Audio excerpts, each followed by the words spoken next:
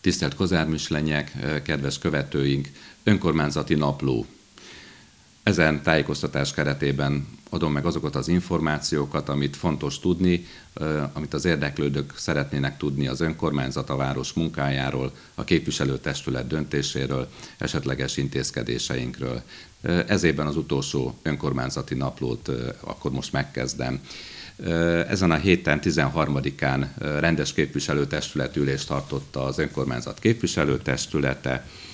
Nagy létszámmal részt vett rajta a megválasztott képviselők, és 14 napi rendi pontot tárgyaltunk, azon belül pedig még több alpontot is, ami fontos itt az év, év végén.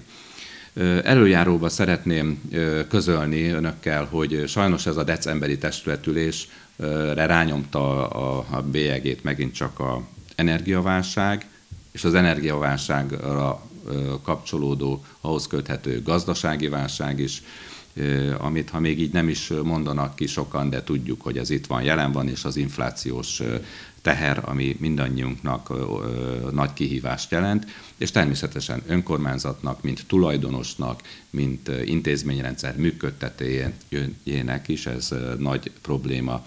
Tehát ez a tanácskozás, ez az önkormányzati ülés, ez a takarékoskodási intézkedésekről szólt. A napirendi pontokban meghatároztuk, próbáltuk megtervezni a következő év költségvetését. Ezt ugye mi mindig elvégezzük.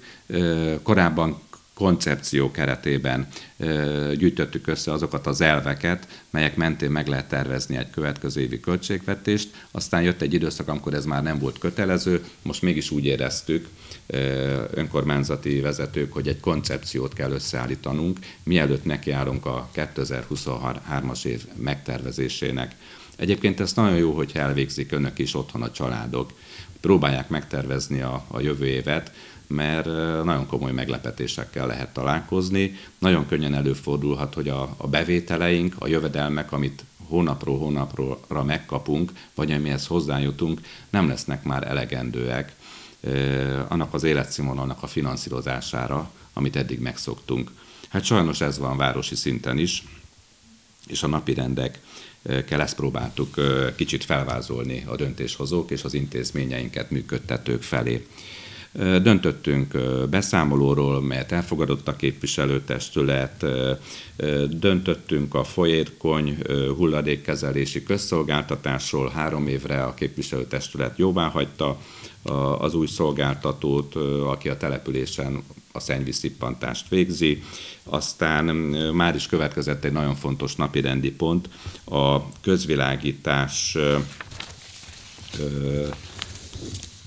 közvilágítással kapcsolatos döntés. Most a sorrendet egy kicsit felborítottam, de talán ez volt a költségvetési koncepció mellett a másik legfontosabb napirendünk, ahol arról döntött a képviselőtestület, hogy miután az állam és a kormány lehetővé tette, hogy az önkormányzatok a közvilágításokat átalakítsák, akár korlátozzák vagy szűkítsék az energiaválságra való tekintettel, ezt önkormányzati rendelettel megtehetik az önkormányzatok, annak érdekében, hogy valahogy ezt a elszabadult rezsiválságot, energiaválságot át tudjuk vészelni mi is itt a településen. Arról döntött a képviselőtestület, hogy január 1-től egy éven keresztül korlátozni fogjuk Kozármislenyben a közvilágítást. Ebben kérünk türelmet, megértést, hiszen még két évvel ezelőtt 19 forint 50 filléres kilowatt óra energia ára szerződtünk le az MVM-mel, a közvilágítási hálózatunk működésére.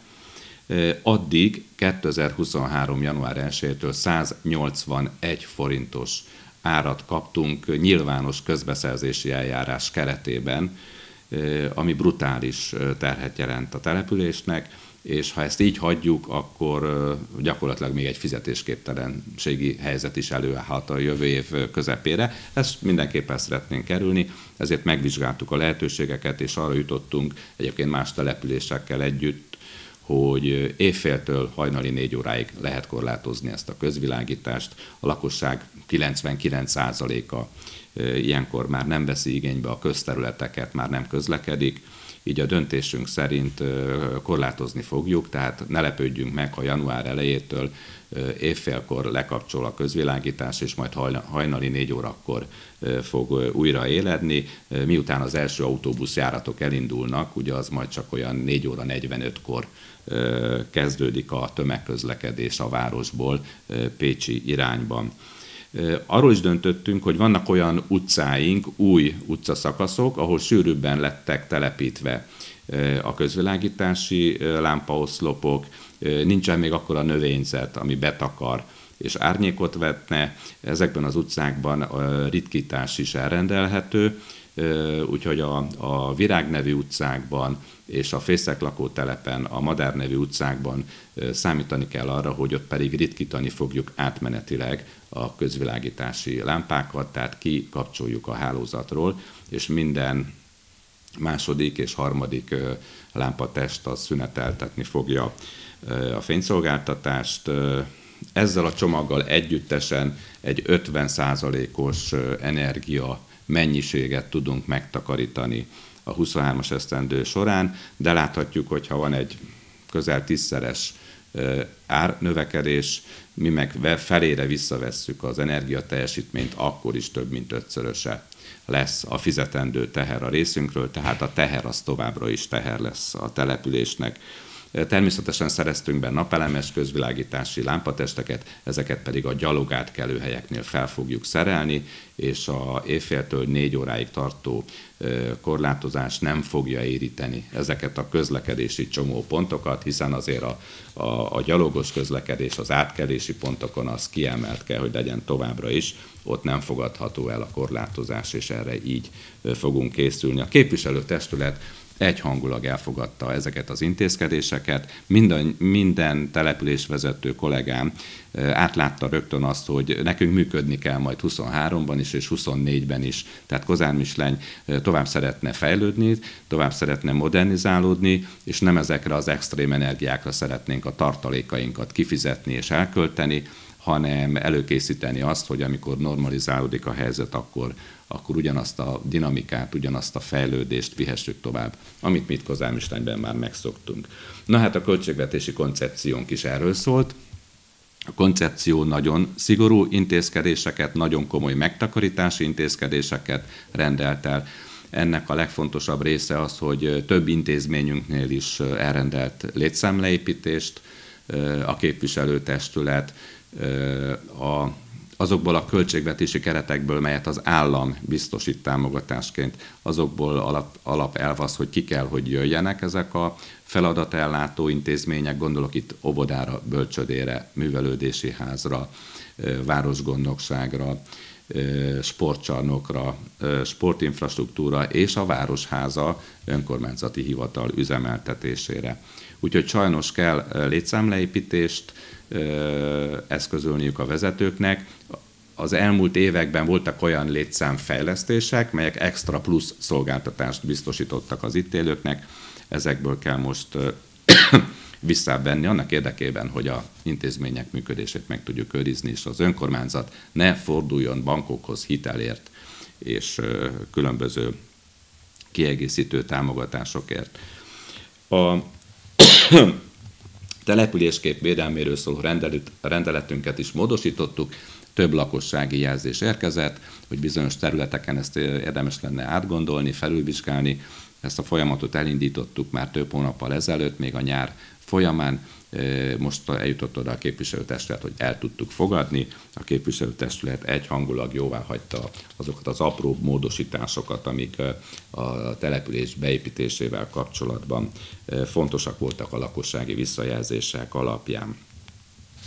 Gördülőfejlesztési tervről döntöttünk a vízmű tekintetében, a DRV tekintetében, útjavítási kérelemről, döntöttünk, amit jobbá hagyott a képviselőtestület, és a közterület használati rendeletünket is módosítottuk. Itt is már a koncepció is meghatározta, hogy egy 50%-kal fogja az önkormányzat a jövő évben emelni a közterület használati díjakat. Több éve nem nyúltunk már ehhez a területhez, nem voltak itt díj emelések, Ezen belül van egy nagyobb tétel, ami például az éttermeseket, a vendéglátósokat, érinti a teraszok bérletek közterület használata során, ott kivételt tettünk, ott nem alkalmazzuk az 50%-os díjemelést, hanem ott csak egy 20%-os bérleti díj vagy közterület használati díj emelésre számíthatnak 2023-tól. Tehát, ahogy elmondtam, a kiadásaink drasztikusan megnőnek az energiaválsággal kapcsolatban, megnőttek a támogatási igények is a rászoruló családok felé, a másik oldalról nekünk ehhez bevételeket kell keresni, bevételi forrásokat, plusz adót továbbra se vezettünk be, az ingatlan tulajdonosok felé, tehát nincsen telekadó, nincsen ingatlanadó, házadó, nincsen kommunális adó. Már a korábbi ülésen a viszont az iparüzési adót beemeltük arra a szintre, az arra kétszázalékos szintre, amelyen már a környező települések és a városok itt Baranya megyében vagy a Dél-Dunántúlon is tanyáztak már több éve, de ugye nálunk 1,6% volt, és akkor januártól 2% lesz az iparüzési adó, de ez már az elmúlt ülésen meghozott döntésünk volt.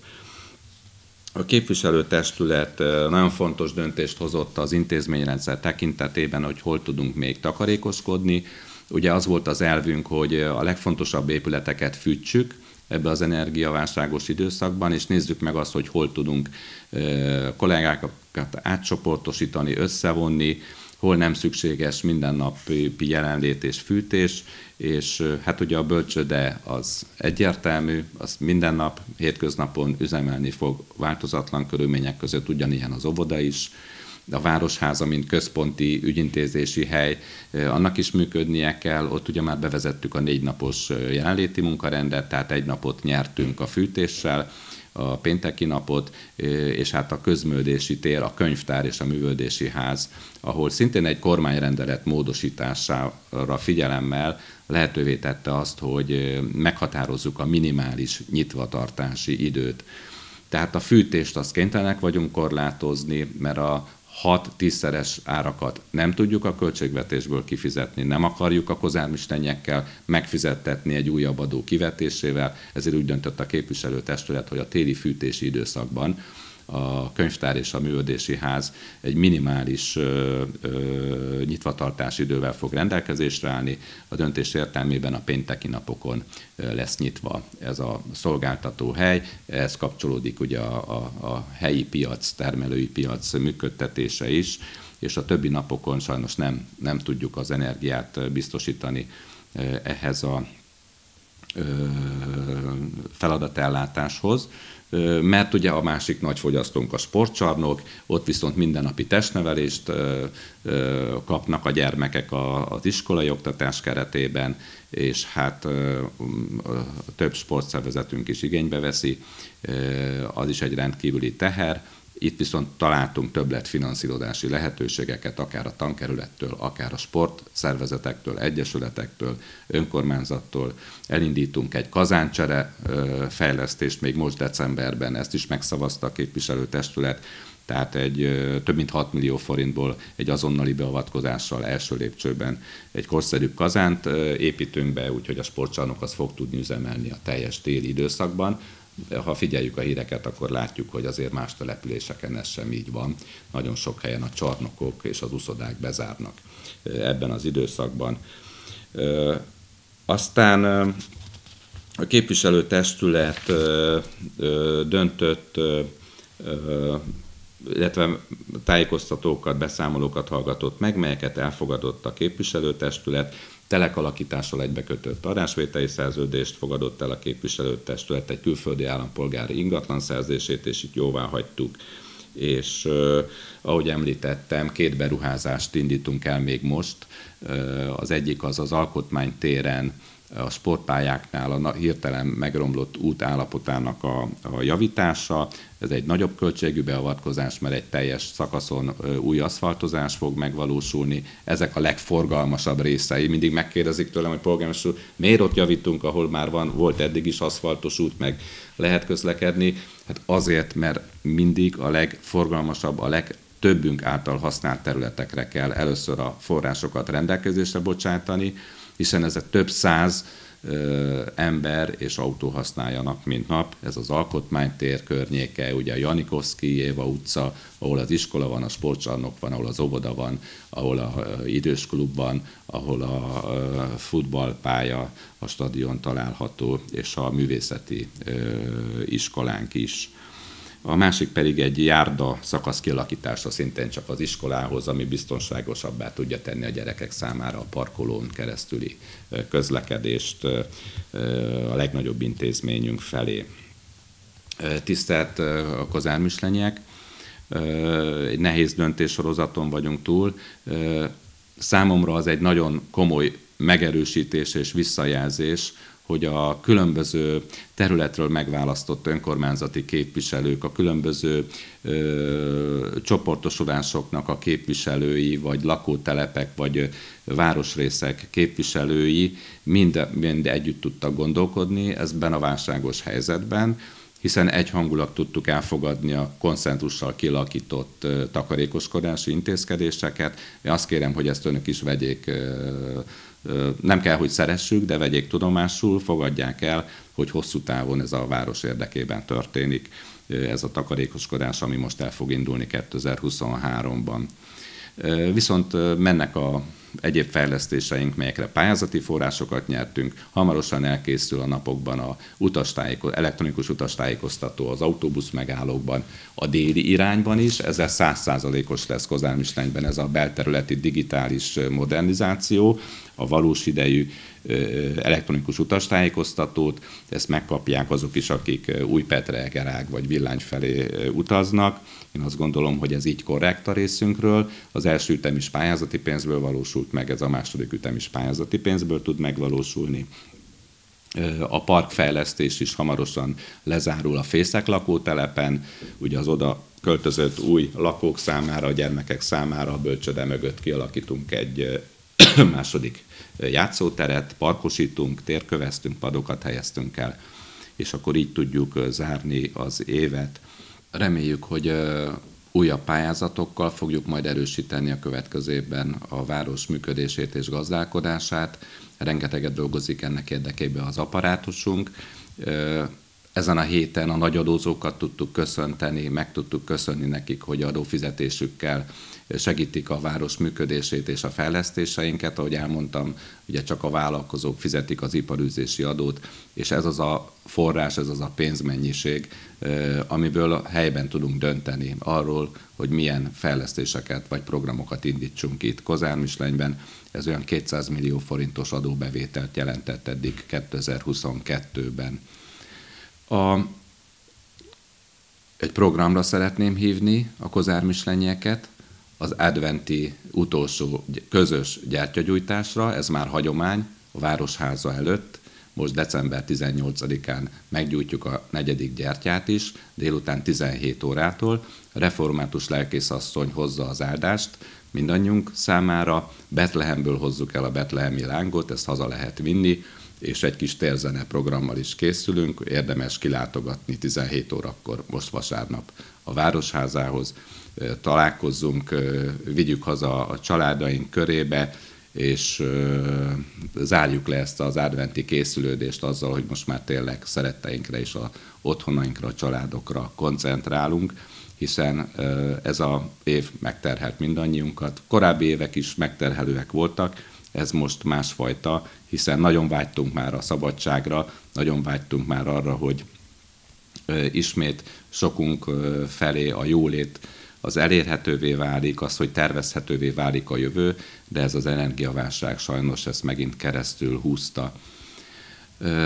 Áldott karácsony ünnepeket kívánok, békés szeretetteljes karácsonyt minden kozármislenyinek, a családoknak, az idősebbeknek, a fiataloknak.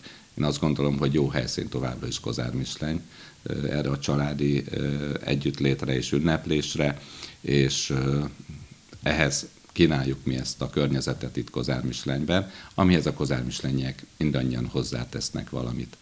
Kérem, hogy a munkákat továbbra is figyeljék, kísérjék figyelemmel, nagy kihívások vannak még előttünk, de ezeket teljesíteni fogjuk. Boldog karácsonyt kívánok, kedves Kozármisleny, áldott ünnepeket!